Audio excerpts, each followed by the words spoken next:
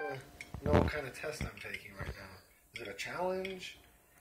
We'll call it the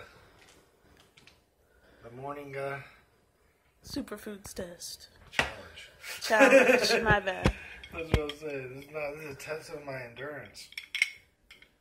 Is it dissolved now? Yeah, it took a few minutes. Just took a few minutes, baby. So All right. It smell like what? Ah, it smells a lot better in the OJ. It smelled like damn fish food, like them flakes.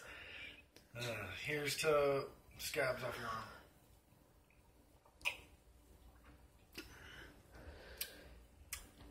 Your turn.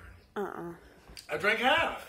I'm not drinking it. I drank half exactly. Did it taste good? I liked it. You're lying to me. Bro, it's OJ. It's green OJ. I.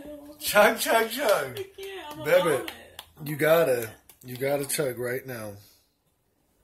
You gotta just chug it. You ain't even gotta plug your nose or nothing. OJ's the dank.